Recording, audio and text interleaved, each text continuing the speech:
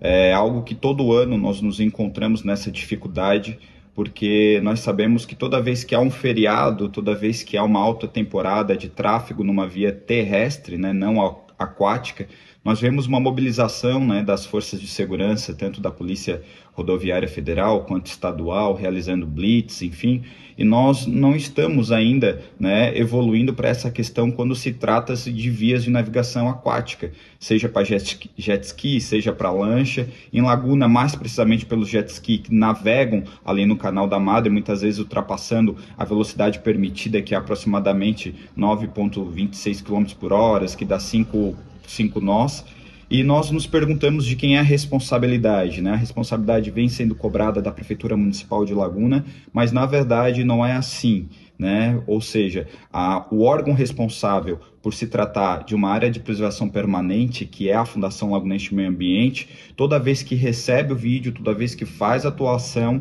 que nós conseguimos identificar as pessoas que são infratoras, nós lavramos o auto de infração e acabamos responsabilizando. O que ocorre é que muitas vezes, por se tratar de uma área de navegação e nós não temos a capacidade de estar lá em loco, né, quem deveria estar seria a Capitania dos Portos, com toda a sua estrutura e também agindo dentro da sua prerrogativa constitucional e também na lei federal, que é a fiscalização dos canais de navegação, é, não está ocorrendo. Já recebemos diversos vídeos que estamos tentando identificar né, os autores e se vocês tiverem também qualquer informação dessas pessoas que estão navegando, pode estar encaminhando, a denúncia pode ser feita anônima, mas na esfera administrativa que cabe à fundação, todos os trâmites serão feitos no rigor da lei.